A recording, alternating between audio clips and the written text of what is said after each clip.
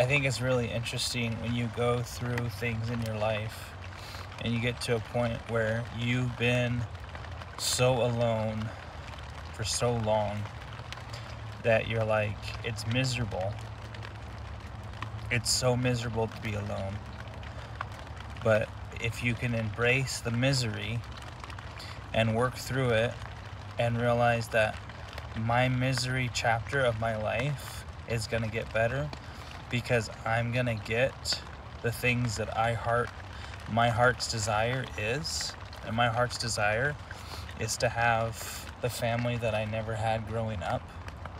So I never had a good family dynamic. I am not close with my parents. I am not close with my siblings. I'm not close with any of my family members. Um, and I would love to be close with them. But part of it is they never allowed me to, or they judged me for things I've done or do or whatever.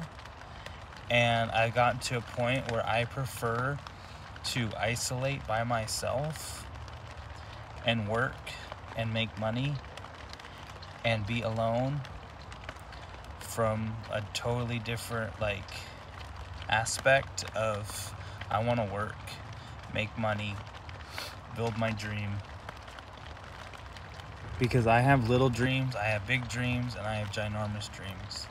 So that's the whole purpose of my channel is you can watch me grow as an individual and if you want to be a part of my journey you can join me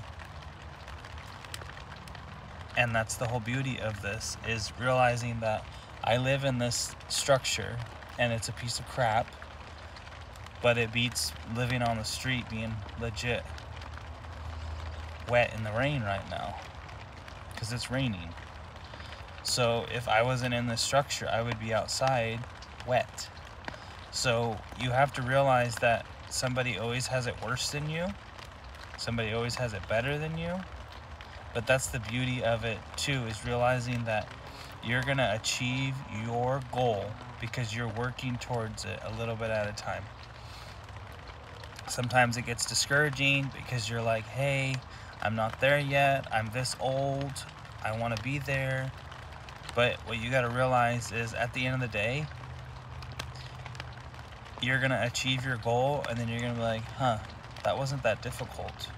I made it more difficult because I complicated it. Like, it's really simple. Like, I could build the tiny house that I want. I'm just complicating it for whatever the rationale is on that. And it's just so interesting and it makes you realize how dumb some things really are because you want something so bad and you're so scared that you don't accomplish it. And it's kind of dumb.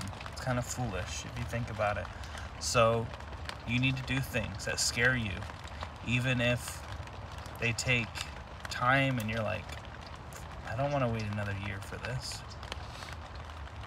But you never know. Next month could be different. You could have something that you've been working towards. And that's the beauty of it, is realizing that you can have that goal because there's stuff that you've been working on and the universe is helping you. Because I went to a worship um, a worship thing last night. And I'm not anti God, I'm not anti Christ. But what I have realized is a lot of the religious aspects of things are fear based. Like you're scared to die because you're going to be alone, you're going to have nobody around you, you're going to spend um, all this time in eternity alone, like yada yada yada. Like it's all fear based. And that's the biggest problem I have with certain religions is they're so fear based. But if you're not afraid, like if I went today, I'm not afraid. Like if I was driving down the road and somebody just clipped me and I didn't make it, it's not the end of the world because I haven't achieved all my dreams,